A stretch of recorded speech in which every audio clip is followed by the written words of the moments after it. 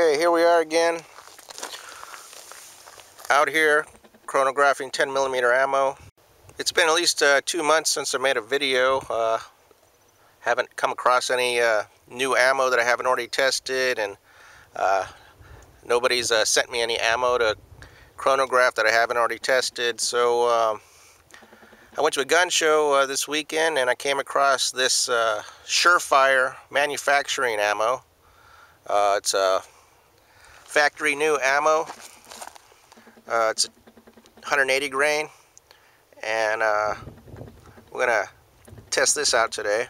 Uh, the guy at the gun show did say that they um, will reload your brass if you send it to them.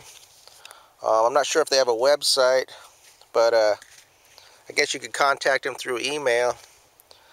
Uh, his email address is ask at sf ammo.com and uh, you could contact them find out what their prices are. Uh, so let's see how this uh, ammo does.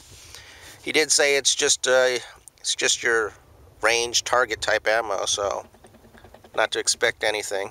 Uh, so let's find out